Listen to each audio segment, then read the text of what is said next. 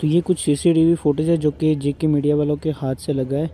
तो ये यहाँ पर आमिर भाई यहाँ पे आ रहे हैं, अभी मैं दिखाता हूँ आपको। यहाँ पे इनसे बात करें येलो जैकेट वाले के सामने। और ये अभी आमिर भाई को लेके जा रहे हैं आगे।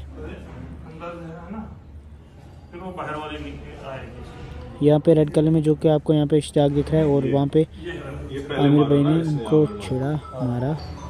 पहला फ़र्स्ट अटैक जो है वो आमिर भाई ने किया है। और आमिर भाई अभी यहाँ पे पीछे की तरफ़ आ रहे हैं। रेड जैकेट में जो कि यहाँ पे दिख रहे हैं आपको ये इश्तियाक हैं साथ में।